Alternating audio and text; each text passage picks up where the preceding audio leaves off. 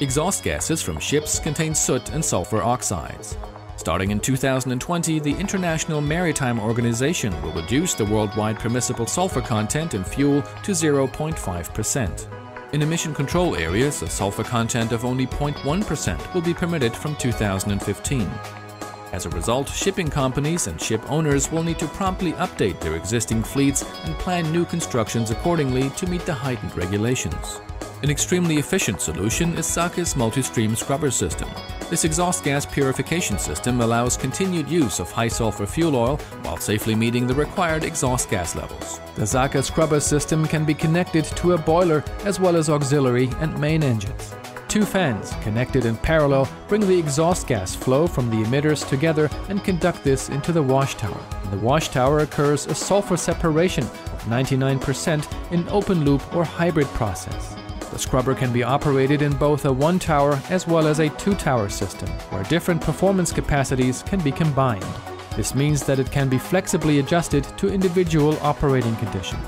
A live data monitoring rounds off the SAACKE exhaust gas cleaning system. In addition to displaying all relevant measurement data on board, emission data is also available for the operator on shore thanks to SAACKE's innovative EGCS monitor using a mobile data connection.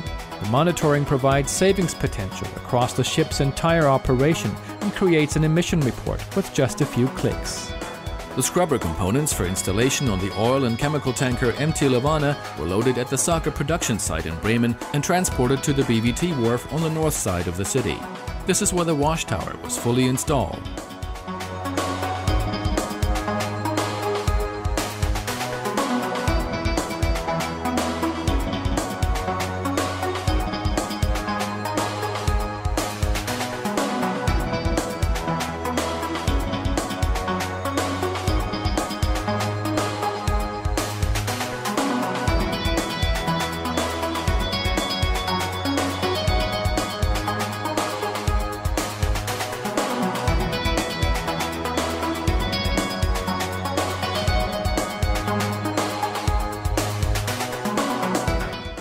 Wash tower is then installed in a prefabricated ship section.